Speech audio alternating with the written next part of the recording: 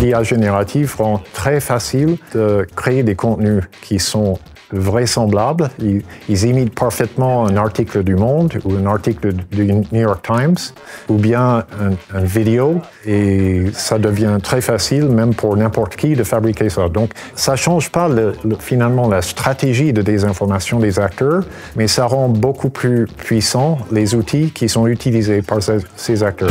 J'ai mentionné la réglementation, il y, a, il y, a, le DSA qui va monter en puissance, c'est un outil très puissant, il faut qu'on voit comment ça marche en pratique. Euh, mais si on peut obliger les plateformes finalement à apporter eux-mêmes la remède, c'est quand même la meilleure manière euh, de lutter. La Commission européenne a annoncé euh, toute une série de mesures pour protéger la démocratie en décembre 2023. Il y a une série d'actions, de, boîtes à outils, de, de communication, etc. Donc on va voir comment ça marche.